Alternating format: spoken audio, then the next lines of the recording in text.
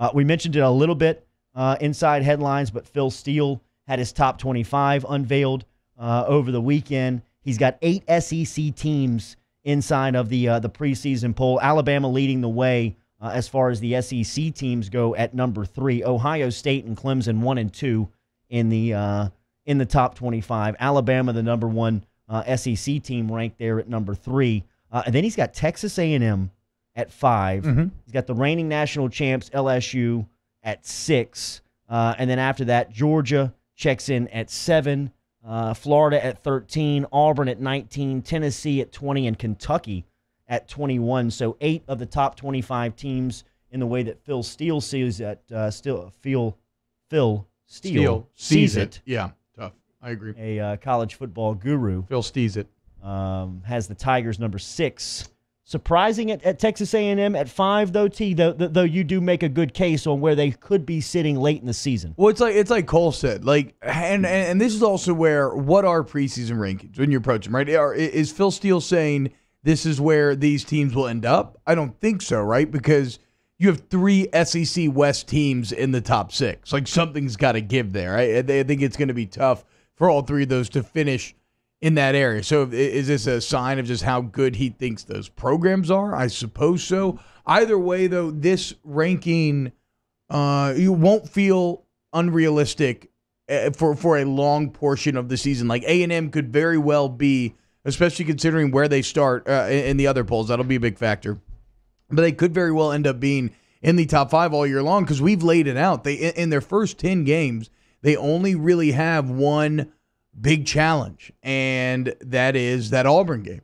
And so you're looking at either Where is a- that game? Uh, where? Yeah, let me look it up. Look it up. Uh, I think it may be at Auburn. Uh, but either way, you're you're you're looking at a potential nine and one start, or maybe even ten and zero going into the Alabama LSU stretch. And so, if you're nine and one or ten and zero, absolutely, you could see Texas A and M uh, being ranked that high. Plus, you, you look you look at Jimbo Fisher, and um, I, I think that this is an interesting year for him in terms of kind of where does his current coaching uh, reputation lie.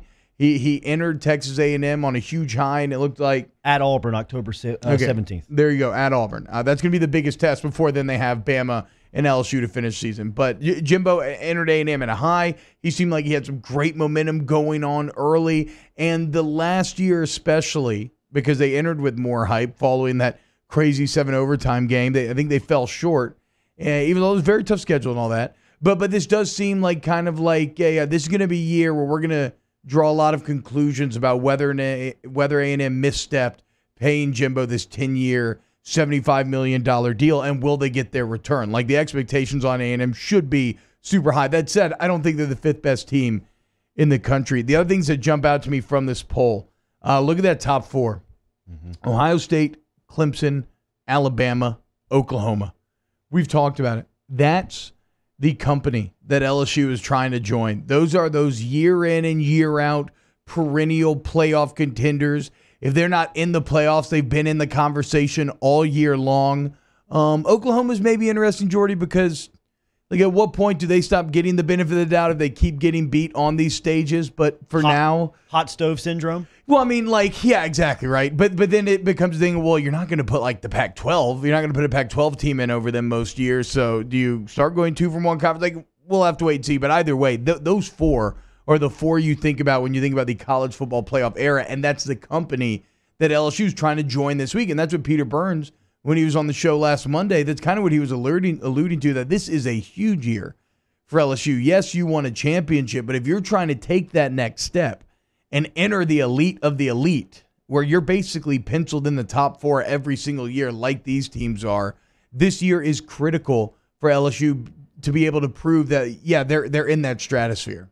I love that because I think if you look at the way that LSU has recruited, and if you hear some of the conversations of guys that we talk about, like Tristan Leigh, who was here two weeks ago, who's a prime target and one of the top offensive tackles in the country, you can see where LSU sits on his list and as far as his interest level goes. And I think that's why LSU becomes a consistent player with those top four teams that you you talked about in, in Alabama, Oklahoma, Ohio State, uh, Clemson. and Clemson is because of the way that they recruited for the past couple of seasons and the way that that is staying consistent. Well, and that and, and that is the key, right? Can you consistency? Can you you don't have to win the championship every year, but are you truly competing for in it. the conversation? And for LSU, that may even be, be a bit like more granular because LSU's for years in the losing streak to Alabama, you were in the conversation until you got your ass kicked by Bama, right? So you you you also have to have good showings there. I'm not saying you have to win the Bama game necessarily, but you can't go back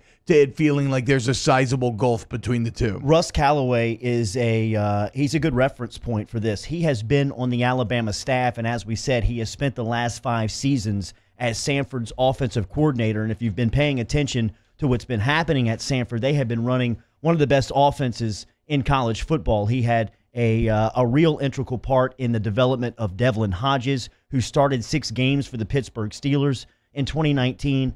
Um, and Russ Callaway seems to be one of the names within the coaching industry that is a bright light as far as a young mind on the offensive side of the ball. LSU has him right now on staff. You heard Orgeron comment on him a couple of weeks back. We will speak with him next here on Off the Bench Daily, presented by All Star Toyota.